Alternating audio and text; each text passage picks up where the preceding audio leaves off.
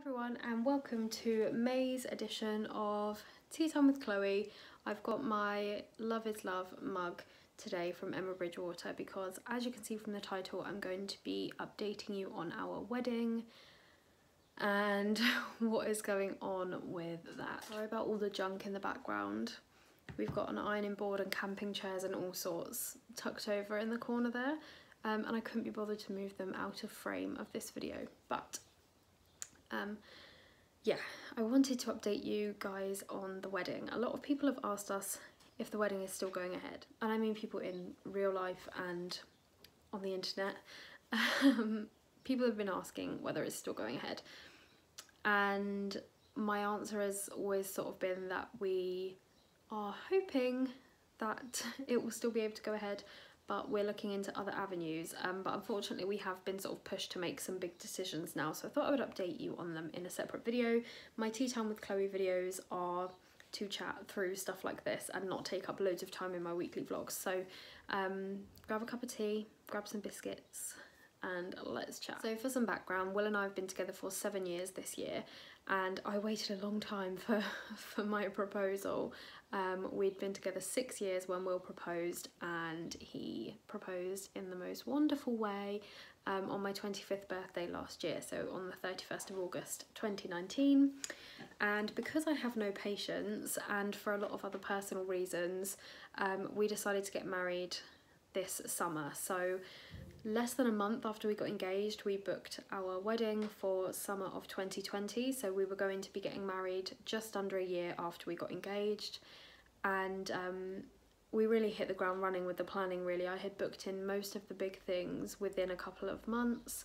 Um, and in January I booked all of the like final things and like the final big suppliers and um, had our invites made and then this happened. I don't want to like name the pandemic and everything that's going on because I know that YouTube are like hiding videos that mention it. We got stuck in the middle of a global pandemic and obviously the wedding came into question.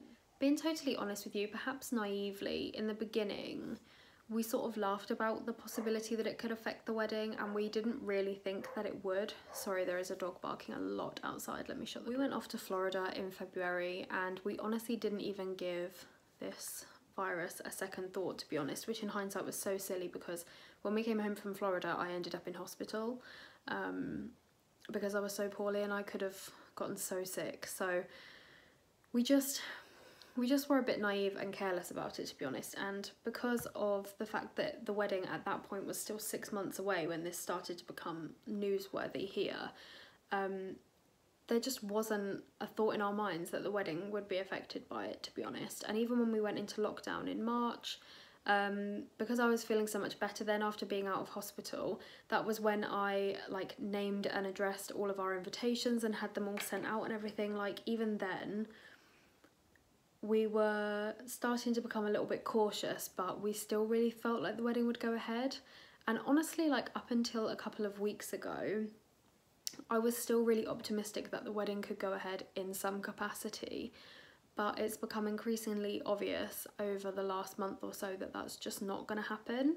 Um, although having said that, I think that the wedding probably still could have gone ahead, but I think it would have a drastically reduced guest list and all the guests would have to social distance. And when I thought about how that would actually feel on the day and you know having a wedding photo album full of photos of people standing two meters apart from each other like it just wasn't what either of us wanted. So um, if you watch my weekly vlogs you'll know that I've been agonizing over this situation for months now. Um, I've had a lot of sleepless nights, I've had a lot of tearful days, um, and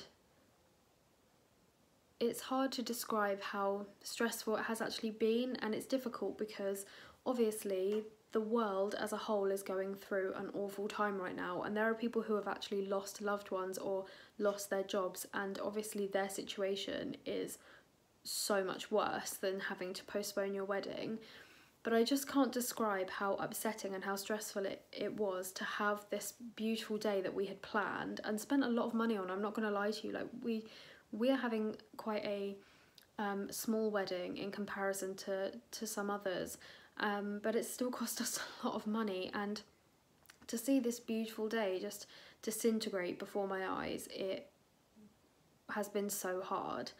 And a lot of people will say just postpone it, but it, it isn't as easy as that for a lot of people. Um, if you have bought everything and planned everything for a summer wedding, for example, you're going to want to postpone to the next summer, but a lot of people were already booked for next summer. Um, people tend to plan their weddings generally at least a year in, in advance, normally two years in advance. And because all of the spring weddings had started postponing straight away, um, people like me who had weddings in the summer and they were holding on a little bit longer to see if it could go ahead, you were really competing with people for dates, especially if you wanted to get married next year. And I've heard of people having to put their wedding off now until 2022 or even 2023 because they just can't get the dates that they want um, and they can't get all of their suppliers free on the same day. And so I was really worried about that happening to us. Um, and I felt pushed to start making some big decisions basically. So um, at the end of April, beginning of May, I started contacting my suppliers and my venue and I spoke to the registrar, so like the, the people who actually marry you, and we decided to pencil in a possible altern alternative date for next April. Um, so we were holding on to our summer wedding date for now, um, but we penciled in this date for next April. And the reason we went for April was one, because our venue only had about five dates left for next year. Um, but also, my brother and his fiance got engaged a couple of months after us, and they um, are also having a fairly short engagement, and they have booked their wedding for next June. So that then made it difficult for us because we didn't really want to get married right on top of their wedding. We don't want to steal their thunder. Um, and we didn't want to get married after them because originally we would have been married nearly a year before so it didn't it also didn't feel right to get married afterwards um, so we just went ahead and booked in this provisional date for the end of April and we left it at that for about a month um, until today. So obviously we've been watching the situation unfold with great interest and frustration and um, we were waiting for this most recent government update in the UK to make our final decision over what we were going to do with the wedding. And I had been sort of psyching myself up over the last couple of weeks to officially make the decision to postpone.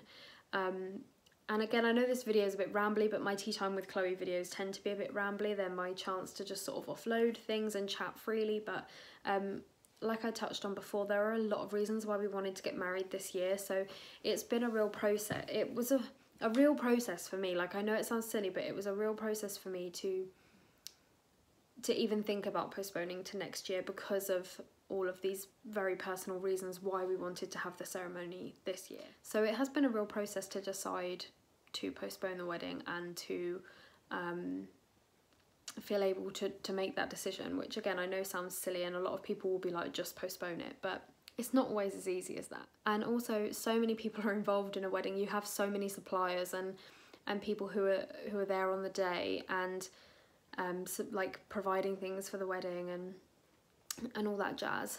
And also you have to make sure that somebody can actually marry you, so you can't make any decisions until you've spoken to the registrar office and the, and the superintendent registrar um, because you can't postpone your wedding and organise it all and then find out that nobody is available to marry you that day. So it's a it's a bit of a process. But yeah so new rules and updates were sort of released yesterday and unfortunately there wasn't any guidance released about weddings that I've seen yet. We might get more on Monday, that tends to be what happens. They sort of release bits of it on Thursday and then on the Monday when everything comes into effect um, that's when we get more detail so um, there might be more information released on Monday but there was talk that small wedding ceremonies were going to be allowed from Monday the 1st of June um, I don't know if they were, were going to have to be outside or whatever, but weddings were supposed to resume from the 1st of June.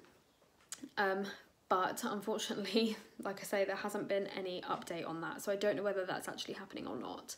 Um, so because we didn't even have that update, we basically just came to the decision that if we were going to postpone the wedding, we really needed to do it now um, because the stress of not knowing and agonising over the decision, it was just upsetting me in particular because Will is a lot more um, stoic than me. He's able to sort of compartmentalize his feelings a lot more than I can. Um, but it was stressing both of us out, and our families were worried as well. Um, everyone was asking us all the time. My friends were starting to ask what they should do about the hen do because we have this big weekend away booked for my hen do, and basically it just, you know.